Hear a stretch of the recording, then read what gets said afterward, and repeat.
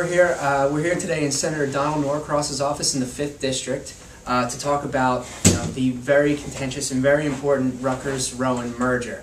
Uh, Senator Norcross has definitely been one of the instrumental figures in this whole process since the beginning. So I'm really appreciative that he has given us the time to come in and sit down with him today. Go ahead, Um, um, stop by. So first, I'll, I'll get right into it. Um, the initial plan that came out is not the plan that's currently really being discussed now. And early on, uh, you came forward writing an op-ed originally in the Courier Post, expressing a different position from what was originally proposed. Now, uh, I mean, I haven't seen anything, but but you do have a different proposal that's being worked out. Could you just explain what that is and how it's different from the initial plan? Well, let, let's go back. Uh, the report uh, that the governor released back in uh, early February, uh, upon reading it, and initially uh, was in, I was rather surprised. Uh, the merger of two great institutions in southern New Jersey, and living right on campus at Rutgers down in the city, I found that not to be not only my liking, but I don't think it was good for the district or southern New Jersey. So I had put together an op-ed piece and uh, offered my, uh, my issues uh, with the original plan. And that's where we started a few months ago. Um, There were, quite frankly, competing plans, the one that the governor rolled out. But the plan that uh, we're discussing now, and certainly uh, meeting with so many groups, as you know, uh, takes really three basic concepts or visions. That A, Rutgers, Camden needs to remain here in southern New Jersey. That number two, it needs to have its independence from the central bureau up in uh, New Brunswick. However, remaining the linkages that they have uh, for the students, uh, so that uh, their names will remain with Rutgers, that the faculty will still be part of their system, the collective bargaining agreements, issues along those lines, things that make sense. And the third item is that the partnerships with Rowan University uh, get stronger and expand. Those are the three basic visions. But let's back up a little bit and say, why are we here? Uh, Over the course of the last 50 years, Rutgers Camden has grown, but essentially since 1988, there hasn't been a new building on campus. That's prior to the law school, which came, the majority of that funding came from the legislature. 1988 was the last time a new building went on the campus. Now, if you look at New Brunswick, tremendous difference. When we take a look over the course of the last year, the funding disparities between the seven southern counties, essentially from 195 south, is 65 million for higher ed versus 648 million for the north. Less than 10% of higher ed dollars are making its way down to South Jersey. When we talk about the number of seats in four-year institutions, it's approximately 25,000 seats in southern New Jersey, 220,000 in northern New Jersey. Those are just a fraction of the issues that we're dealing with. We don't want to be the stepchild of the Rutgers Central Bureau in New Brunswick. We want to be a full partner. The scraps that have been thrown off the table is not going to suffice anymore. We need to have our independence, the revenue streams to grow our campus stronger and independent.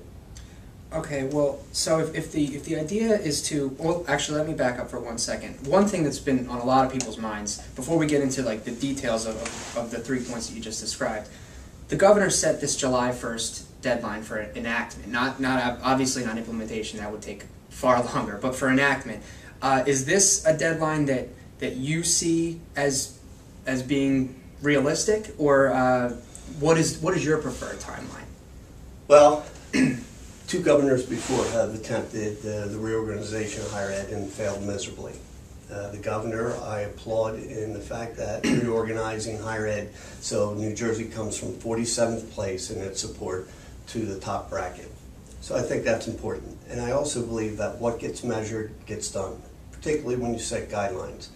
There's a tremendous amount of work that needs to be done in order to roll this out by the end of this year, which is the June 30 deadline that the governor talks about. Uh, I'd like to see that done. Uh, I think it can be done. There's just a tremendous amount of work to get there. Well, I mean, it's pretty clear now that the governor is not going to be issuing a reorganization plan to get. Well, I mean, if he wants it done by July first, he's already passed the deadline for the sixty days in the legislature. So it's going to have to go through legislation, normal Yes. legislation. When can we expect to see a draft bill? Soon. Not to be coy with you.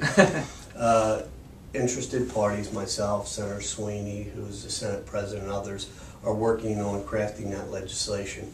But it is a process, uh, and the vision that we laid out, and certainly, you know, that the uh, Senate and the Assembly can craft a bill, but unless it's signed by the governor, we don't go any further. Mhm.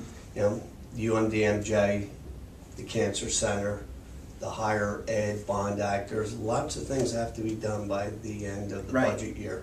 And I believe that this will be right in the middle. You also you cited the it's it's brought up often in this discussion with the we're 47th in higher education spending across the country. Um, a lot of people seem to be kind of confused though as to how this plan and especially in its an, it's an original the original incarnation of the plan with the with the takeover of Rutgers by Rowan. Um, how that actually addresses that issue and where the money would actually come from. I think uh, when there, at least from my own perspective, when I speak about that, is the fact that, first of all, most New Jerseyans don't know that we're 47th. And the fact of the matter is, when you're 47th in the state, and we're in a part of the state that is just a fraction of that, and then beginning scraps off the table, is trying to focus on the fact that we're not investing enough in higher ed in New Jersey or in southern New Jersey. So when we start taking a look at redoing higher ed in New Jersey, that we put that on the table, that when we start investing in higher ed, we're investing in the future of New Jersey and that grows. So putting that on the table to look at and to be a measurement for growing is why I believe we're speaking of it. Well, I guess I guess my my more practical question in that is is if if more funding is going to be flowing to the south for higher education, is it going to come at the expense of the schools in the north that are already getting far more funding, or is there going to be a new influx? Of Well, let's be very clear about what we're talking about, and I laid out some figures for you. We're only asking for our fair share. Mhm. And much of the discussion and the screaming I hear about are those who have all the resources. So of course they want to keep the resources, because that's why South Jersey gets less than ten percent. So I want to keep it all up north. What we want is our fair share. So the way the pot is distributed should be equitable. We have thirty percent of population, less than ten percent we're getting. So there's some reconfiguration that definitely needs to be there. But more importantly, let's grow the pot. So we're talking about growing the pot so there are more dollars in higher ed and certainly talk about redistribution so South Jersey uh, gets their fair share. Would that would that most likely be through a bond issue or That is one of the items that's being currently discussed. okay? Um, well, back to back to the, the plan that you that you were talking about earlier with a more autonomous Rutgers Camden. What what exactly would that look like? I mean, you know, it's still if we're going to maintain the identity of, of Rutgers Camden, there still has to be a connection to New Brunswick in, in a way. So, I mean, would there be another board of governors for Rutgers Camden? If so, what would that be? How would that be comprised? I mean, who would pick the people to be on it? Would there be anybody from New Brunswick on it? Um, just would it would it be Rutgers in name only, or would there be a true Rutgers connection? No, still? no, absolutely not. Rutgers is a fine institution uh, throughout the state of New Jersey, and nationally it is in uh, prominence. But when we take a look at what has not happened at the Camden Satellite Campus, is the investment. It has been pitiful. When Rutgers spends more on its sports program than it does on the entire campus of Camden, there's a problem. And those are the things that we're looking to do it. So when it comes to faculty, tenure, those things uh, that are so important and they do well, we want those to remain. But we're certainly not looking to send uh, a dollar worth of tuition and getting less than 50 cents back. That's not how it should work in the future. So those decisions, whether to expand, which had been historically very difficult, uh, the law school would not have been built had it not been for the legislature uh, allocating the money. The fact of the matter is, they wanted to cancel dorm projects, which are being built there now. The campus has not been invested into anywhere near the degree it needs to really fulfill the obligation we have to southern New Jersey. Okay. Um, and you, you brought up a, a couple of other issues earlier, uh, civil service issues, contractual issues with faculty. There's there's been a lot of talk about debt issues between the different institutions involved in this deal, um, tenure problems. I mean, and of, course there's there's the one thing that seems to loom over this entire plan since the beginning that, that no one really knows right now, and that's the cost. And I know you don't know what the cost is, and I don't know what it is. Nobody I don't think anybody Yeah, nobody knows. Nobody is. knows yet, and that's that's actually what my question is. Um, you know, this July first deadline has been there since I guess mid March.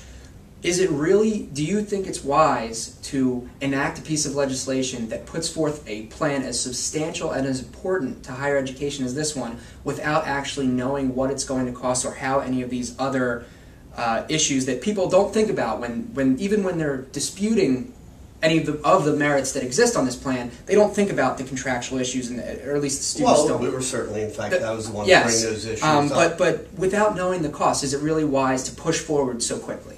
What I think is wise is that we move this plan forward for the state of New Jersey to invest in higher ed. We're not going to know every figure down to the penny. Quite frankly, you can't because the vision hasn't been completed and the legislation hasn't been laid out. Hmm. So calculating many of those costs are going to be difficult now. They'll be easier in the future. But the costs are known.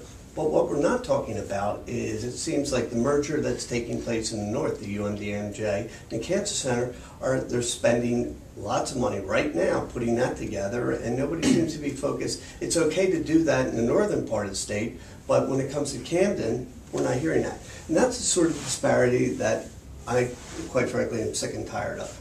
We're not asking anything more than we're due, we're just asking for what we're due, and that's what's going on here. Uh, getting back to the question you asked before, is I'm looking to create, and whether you call it a board of governors, board of trustees, or otherwise, yes, there needs to be a separate board for down here in Camden. And the appointments for that should work much like they are for Rutgers now, with advice and consent of the Senate uh, and appointments to the governor. But in addition to that, we're also taking a look at making sure that South Jersey is represented on this board.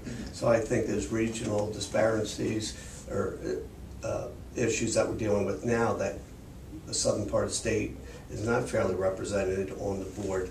It certainly will be addressed in what I believe the legislation will have. Right. Um, obviously, now with the with keeping keeping the name Rutgers and having Rutgers Camden being more autonomous, uh, the name Rowan has kind of almost exited from the conversation to an extent. What would I mean? I'm assuming that this plan is going to include some sort of cooperation with Rowan. What type of cooperation would it be, and would there be any control over the Camden campus coming from Glassboro? Well, it's an excellent point you make here. You know, the bulk of the discussion and the focus has been on the Camden campus, not on UMDNJ, the Cancer Center, the bond issue, or other things. My district runs from Camden City down to Harrison Township in Gloucester County, which is literally uh, right next door to the Glassboro. Uh, I had talked about creating those strategic partnerships. Rowan is now building a medical school right down the street from where we are now in Camden City. Uh, They have a great engineering school.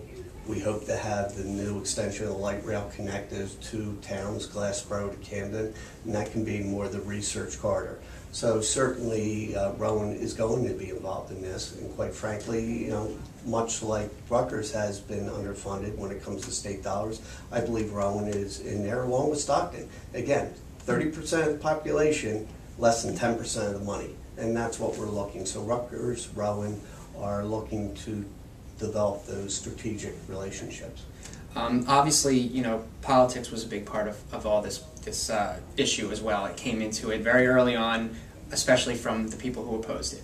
Um, how, how do you respond to critics, including Senator Lautenberg, who I know you sat down with the other day, actually after the after the press conference?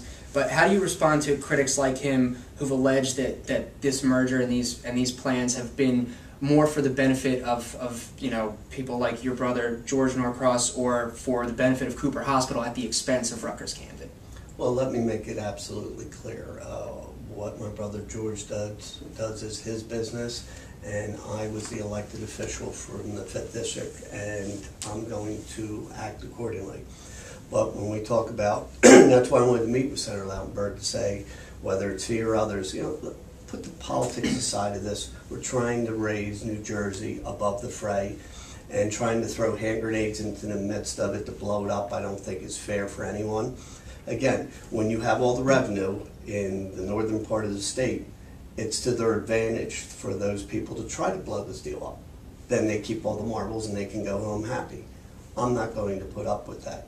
We need to have uh, not only the funding distribution equal, but all the resources when it comes to research dollars and otherwise. It needs to be a win for South Jersey and a win for New Jersey. So keep the politics out of it. Mhm. Let's, instead of fighting the, po- the political game, why don't we try to help the students, which is the focus. The, the one other piece that involved Senator Lautenberg that got a lot of press was the, the letter he sent to Arne Duncan, uh, yeah, to Arne Duncan, uh, asking for a federal review from the Department of Education. Uh, and then there was immediately another letter that came out from a lot of the legislators down here against that, uh, or against against Senator Lautenberg's involvement. Uh, would you be for a federal Department of Education review, and if not, why not? Well, I'd love to see a, a review of the dollars that New Jersey is getting and say, why are we 47? That's what the review should be on, not on the political crap that's being thrown around.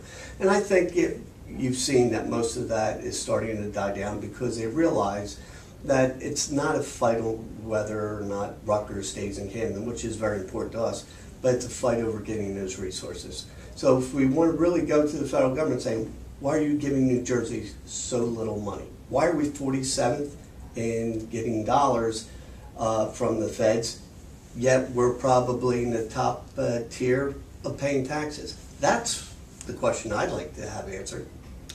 Um, and you know, finally, there are some some people who, even looking at you know the the new compromises that are taking place, are are somewhat skeptical. And, and I, I assume there's always going to be people who are skeptical no matter what the plan ends up looking like. However, there are, there are a lot of people who are skeptical, saying that. Uh, Rutgers Camden may be being set up to fail in a sense that making it autonomous from Rutgers New Brunswick is it's not going to be able to stand on its own, and then in a few years' time we could see ourselves being taken over by Rowan or an, or another institution or or you know uh, changed in some fundamental way again just a few years down the road. Um, There are Do you have few, any- yes, there's do you have very few anything to say to that? guarantees in life. One is that we will all die at some point. but the fact of the matter is, I don't think Rutgers is going away this year, next year, or anytime. They're a fine institution, great reputation, not only here in New Jersey, but across the nation and the world. And I think they're going to remain. I'm very uh, confident of that. Okay, well, well, thank you very much for sitting down with us, and uh, if, unless there's anything else you'd like to say uh, No, to everyone, the, the fight continues. We have a lot of work to do before June 30, along with a lot of other budgetary issues. And uh, I'm confident that this becomes a win, not only for the fifth district, but for South Jersey and for New Jersey as a whole. All right. Well, we look really, we really look forward to seeing your, your draft legislation, and I hope that maybe we can speak again after it comes out. We can go through it, maybe uh, through the details. So, thank you very much. Thank you very much.